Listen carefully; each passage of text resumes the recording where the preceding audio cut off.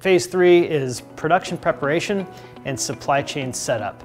So in this phase, we begin tooling, and tooling represents really the first major investment in time and cost for when we go to the factory. Any changes after tooling has begun really get exponentially more expensive and really cause a lot more problems or delays in the schedule. You really want to go into this phase with a solid design, having gone through the design for manufacturing phase.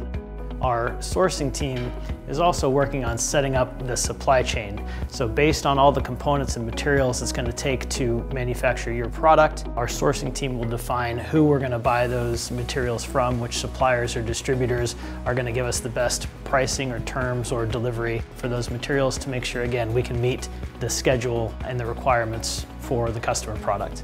And then lastly, the production engineering team will come together and they will collaborate and identify the best way to assemble the product, keeping efficiency in mind, keeping quality in mind, uh, and keeping cost in mind.